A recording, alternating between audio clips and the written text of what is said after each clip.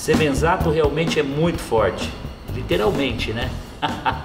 Essa força realmente vem da vontade de poder levar todas as experiências vivenciadas ao longo desses 30 anos empreendendo. Mandei mensagem de caô pro Semenzato ele me respondeu agora, tô com vergonha, kkkk. Eu leio todas as mensagens. Claro que as mensagens grandes eu faço leitura dinâmica, né? Já avisei para vocês. Poder de síntese, gente, por favor. Mano, a história do José Semenzato é mais incrível do que eu imaginava. MDS. Essa linguagem é difícil de. Legal, obrigado pelo carinho. A cada dia vocês me motivam a estar me conectando com vocês e a devolvendo todo esse carinho através de conhecimento, de informação, dicas. Estamos juntos, ou melhor, estamos juntos.